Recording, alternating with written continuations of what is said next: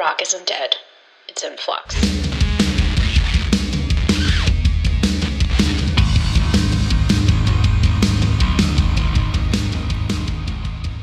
Hi, everyone. I'm Britt with Rock In:flux, and I am joined today by Michael from the band House of Harm. Thank you for being with me today. I appreciate it. Yeah, thanks for having me. So, I always start out the same way. For people who maybe aren't familiar with you all, can you just kind of give me your backstory and, and give me a little bit of information about your band and how you all got started and how long you've been at this?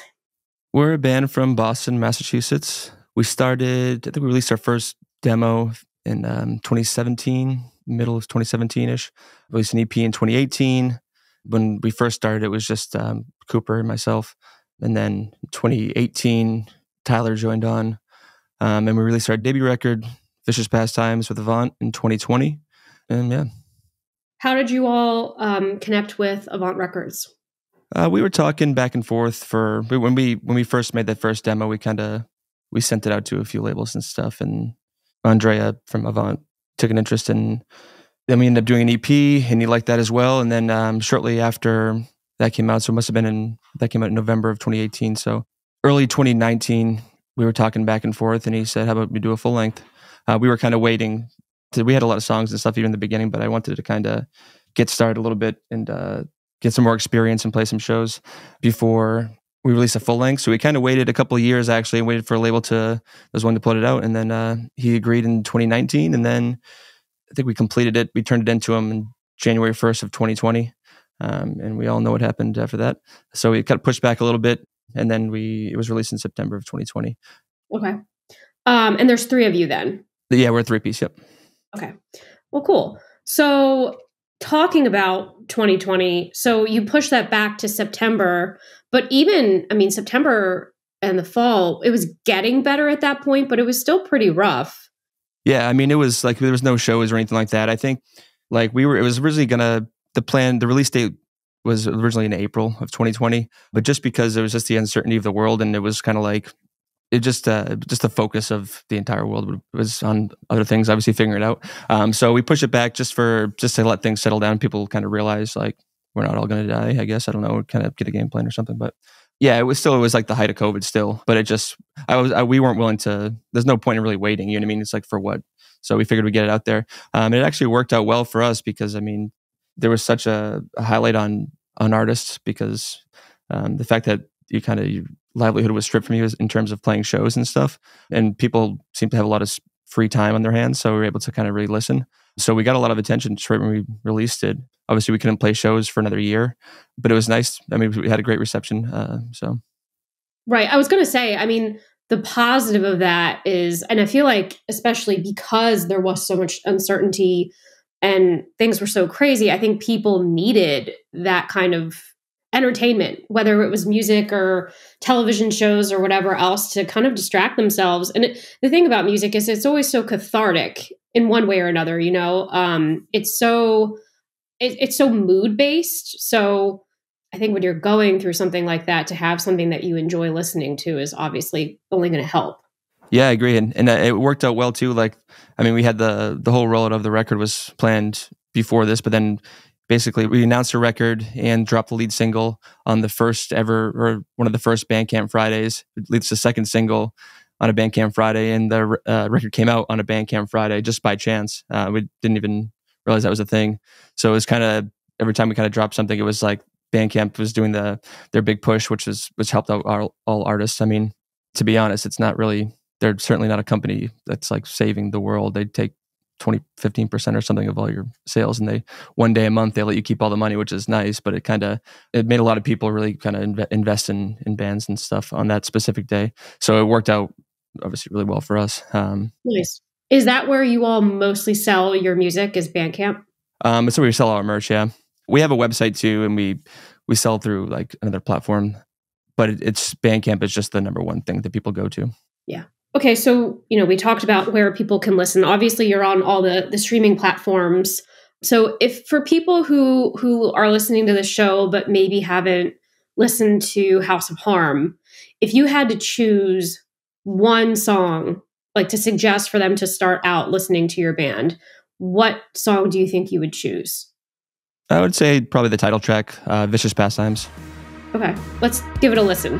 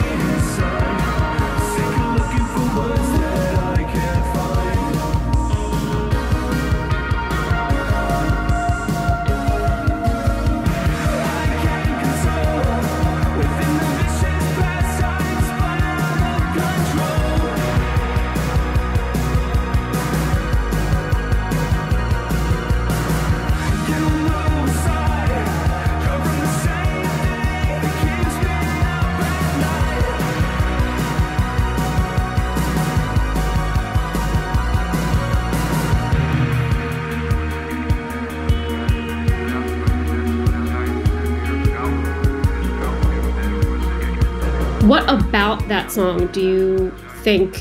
What makes it you choose that particular one? What about it? Um, it's good energy. Kind of checks all the boxes in terms of you know, emotional depth and sound palette, interesting tones and stuff. It's just kind of that's if I pick one song that represents us as a whole, it's probably that one. Okay and it's fun. So I obviously I was reading about you all because I was preparing for this. And one of the things that I read is that everyone else refers to you all as post punk except yourselves, which I thought was funny. I feel like post punk has kind of become like a catch all for it's like the new alt rock term, I guess. If someone asks you what do you sound like and like what your style is, what would you tell them? Um, well, I think in, in us saying that, it's not so much anything uh, against the term post punk. It's just the, against any kind of label, any term. You know, I don't, I don't think, uh, I think that's, it's more about that. And it's, I don't know, it's just something that comes up. I think nothing bothers me. I, I, I wouldn't try to say we're this kind of band or whatever because I know what this band can be in the future, five, six, seven, ten years from now. So it's it could be a lot different than it is now, you know. So it's um, I, I don't even know. I just call us a band. I, you can call us a post punk band. That's fine. I wouldn't even put a label on it. I guess. Yeah. I mean, I understand why because you all have I mean, you have a distinct style, but I could hear influences from from a variety of places. Obviously, and I, I wanted to talk to you about like, you know, who influences you. It's very, very clear that there's big The Cure influence there. And I, am assuming even because the, the guitar tones that you have are very, very reminiscent of kind of that Cure sound. But what other influences do you think you have as a band? I don't know. It's it's hard to say. I think it's more of like a sometimes you don't even know your influences because it's just the the music that you kind of grew up with or whatever that's kind of ingrained in you. And everyone has a you know a different upbringing. So there's whether it be you know hip hop or classic rock or whatever. There's this stuff that's in you that you can't really shed. You know, so it's it's like a lifetime of influences. You know what I mean? Um, so we kind of just look at it like what influences your mind and then your your mind creates the songs you know? So when we're sitting down and making stuff we don't really talk like let's try to make a song that sounds like this band or something. It just kind of comes out in your songwriting you know? Yeah i mean obviously we we our our sound palette is really kind of we like the, you know, dreamy heavy chorus guitars and uh, drum machines and stuff like that. I think we we just completed a new record and we have live drums on it's basically like five songs are drum machine based with real drum overdubs, and then five songs are real drums with uh, drum machine overdubs. So it's kind of um, we're kind of evolving always. You know, it's I think maybe when when the next record comes out, it'll be a bit more clear. Maybe some people will be able to kind of pick up on other influences, but it's kind of hard to say um, like specifically because it's kind of just what's inside of you, you know. What and then what ends up coming out is a mixture of everything, you know. And I was going to ask you as well because I mean, with all the different sound styles that you all have, I'm imagining that there's quite a bit of like pedals uh, involved in your guitars and, and different things like that. You kind of tell me about like I'm so interested in gear and and the ways that musicians create some of the sounds that they create and I know really nothing about it. so I I just like how how many pedals do you think you would typically use when you're writing music? Well, I'm looking at uh, like 15 on the floor right in front of me right now. I just got a new one this morning, so uh, um, we, it's it's something that we actually kind of have to strip back as time goes on. Like I know for myself anyway, for like playing guitar, it's like I had my pedal board was, was ridiculous. So it was just so many different things, and you kind of learn, you know, you can strip stuff away. You don't really need that much, you know. So now we're kind of kind of look at it with a bit more simplicity and kind of think, you know, there's always going to be your your core like five or six pedals that you you always need, you know, and then you'll kind of throw like one wild wildcard effect on there. We we kind of build our base for our sounds, and then we'll we try to. The more you you, you pile them up, they can kind of just sound muddy. So as of late, we've been trying to kind of just have like one specific effect that's very noticeable and kind of have it be that have that special effect, you know. But I mean, I don't know. It's kind of like an endless thing because sometimes the, song will will tell you what to do next. You know what I mean? You know, the song will tell you if it needs more or whatever. But then sometimes you get just a really cool sound out of just messing around with the crazy pedal chain that are or in incorrect orders, just, but you get a cool sound out of it, and that's kind of the magic, and you just track it and move on. But yeah, I mean, for me, it's like I could get as long as I had chorus and reverb, I'm good. Just, that's it. Everything else is like is a bonus, but for me, that's like a necessity. I wouldn't even pick up guitar without that. Do you think some people go too far with the effects and things like that? Because I mean, there's so many options available that I would imagine it's easy to to go overboard.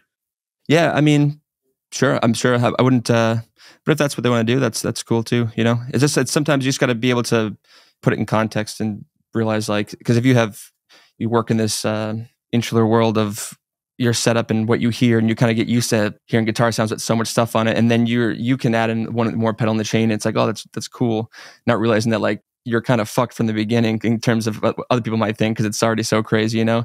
So it's always just good to kind of get like a perspective of like a kind of like a clean slate. So even uh, for me working like i kind of making demos at home working in logic i like i'll clear out my channel strip settings and just start over again just to kind of keep things fresh so i don't get too used to the same sounds you know? Because I, I, think that's when you kind of will you'll end up just overdoing it and you're just kind of you got to just kind of keep your ears um keep your ears on his toes i guess i don't know. Um you know i, I try to keep on every couple of months uh, max. I'll, I'll like reset everything and kind of build it from the ground up again because it's fun and it also it kind of protects against that type of situation where it's just like you're you're overdoing it and then you're used to that sound you know? So but it's definitely something we're conscious of for sure. How does that affect your live show? So being a three piece do you feel more pressure to create the same sound when you're live that you do that you have on the album? Like do you find difficulty because there's only three of you with that um, I wouldn't say difficulty, but we try to find for live. It's it's, it's a great question because for live, we you're going to make compromises, you know, in terms of tone, in terms to just to have it be cohesive and make sense and not have a crazy board. But we try to just you know we do the best we can. What we do for live is basically we'll limit ourselves. We're going to use this gear and we we just do the try to recreate the tones the best we can with, with just that gear, you know, um, and try to have something that's universal and like pick, you know, have an amp tone that will work for all the songs. So you kind of you'll make compromises here or there just for the so it's for a better experience for live for number one so we don't have to bring 10 amps to every show and and all these numerous pedal boards. Um, and then and also for the listener it's you know there's not enough time to really dial all that stuff in in, in your sound check to make sure it's all good. So just to make sure it's every show is uh, repeatable and consistent we'll kind of just have an approximation of the sounds and replicate them with a, a more limited uh, pedal board and setup so again that's a great question. So yeah it's something we put a lot of time into because you know if there's like a special uh, a really special part in a song or whatever it, it, that calls for that you, you kind of have to do it. But for the most part it's like we can get by with just only a few effects. So we, we kind of just uh, make something that will be similar from song to song but still be have their own special moments you know? Yeah. What could people expect from your live show? So if they've never seen you all live before what would you tell them to expect? Um, hopefully a great show. Um, yeah, I mean, we try to we put a lot into into our live show for sure. Um, we practice a lot. You know, we have our own lights. We we we take pride in you know how it looks from an audience perspective, all that stuff. And we put a lot of work into how we're going to play the songs. It's, I mean, it's kind of, it's a completely different thing recording and playing live. So it's, you kind of have to adapt them to a live setting. Like, like I was saying before, to have them, all the sounds be cohesive from one another. Uh, hopefully you expect, uh, or you can expect to see us in the best way possible live. Right. Do you all have any shows coming up? I, I saw a show in May that you have coming up in Portland, Maine do you have other shows coming up? I saw that there's mention of shows this year. Um, is there a tour planned, or what are your plans for that? Uh, yeah, we have. I think we're announcing a few East Coast shows Tuesday, actually. So East Coast, we're coming. Well, I mean, we're already here, but um, and we will be going to the other side of the country in late summer. So that should be announced in like a month or two. So nice. We have shows. I can't say too much, uh, but we're we're doing shows uh, far from home this year. So well, I'm in Phoenix, so I'm hoping maybe I can get a, a close one. I'll come check you all out. Uh, we, you will see us. Okay, cool. So we've talked a lot about you know your music in general, but getting a little bit more specific. So you released Vicious Pastimes in 2020, and I I really I mean that album is great. There's so many good songs on there that I really like. Isolator is I think one of my favorites, and it's I, don't know. I, I think you all do a really good job of of mixing different styles on that album. Um, because you have like more of those atmospheric pop songs, kind of like always. And then you I think Isolator starts out a little bit more dark, but then it still it, it picks up. When you're writing songs, I know you've we've talked about this a little bit, but how does that kind of come together where like is it purposeful that you kind of mix that up on the album or is it just how like the writing process kind of happens? And also in addition to that do you all write together most of the time? That's always an interesting question for me for bands because some people do and then some people even though even if they could be together they're still just emailing back and forth ideas for vicious pastimes it's it's a bit weird because this, the songs were written over the course of a few years because it was our first record so we had I think Isolator was uh, originally released in early 2018. So that was like two years before the record actually came out. Um, so for that one, we kind of just in like half the record was already released before, just in different forms um, through like EPs and demos and stuff. So it was kind of like gathering all the the work we did over the over the past few years um, and putting them all in one. So you, I think you can probably notice it a little bit more how different some of the songs are. I mean, most people, I mean, that it flows fine, but it, from the beginning to the end, I mean, there was a there's a huge, in my opinion, there's a huge, a big leap in in terms of writing and from like isolator to vicious pastimes you know it's it's i can see it because i know where our headspace was when we did isolator and i know where we ended up when we did vicious pastimes um, so that one is probably more varied than it would have been if we just wrote all the songs in in the six month time but we do like to have some variation for sure. I mean um, we write individually all of us and then we bring our ideas together and kind of work them out as a three piece. So we have like tons of ideas but to really make it a house of harm song it has to kind of get the treatment of all three of us. So we individually write a lot and then we bring them together. Yeah i mean that makes a lot of sense because i i did notice that like you you released um several of those songs before and then added them onto that that full album right yeah and then in 2022 you you put two singles out um so it was Feel My Heartbeat and In Threes. It what made you just release those singles instead of an album just to kind of keep the music coming out? Yeah, so we did that. We recorded them. The album that's it's obviously we haven't announced or anything yet, but it's basically it's being mastered as we speak. So it's almost so um, we knew it was going to be kind of a long time um, before people would hear it. So we kind of we had these singles ready to go. They they're not on the album, um, but we wanted to be able to kind of give people some music while we were waiting for. I knew it would probably be like a year or so. So we had those ready to go. Um, so we just figured we release them just to kind of keep our momentum going, um, give people what they want to hear while we were taking so much time to make that record. So that's yeah, that's they're just it's just something to you know keep people engaged and hopefully give them music they enjoy. But yeah, the idea of it is that they were just kind of it would just buy us some time, you know, because I don't like to be too silent for too long. No, yeah, that makes sense. When is the new album expected to come out? Do you have a date for it yet? Not officially. I have a, a rough idea, but by the end of this year, for sure. Okay, cool. And so you've done also several music videos. So you did one for Vicious Pastimes, which is you all kind of performing with some effects on the video, and then you've done one for Waste of Time, and you did one for Feel My Heartbeat. Which that one you're performing, it's kind of like a car garage. Can you tell me the the concept and how how you came up with each of those, and um, what made you also choose the songs that you that you did videos for? Um, for all the videos, we work with um, Tyler's partner.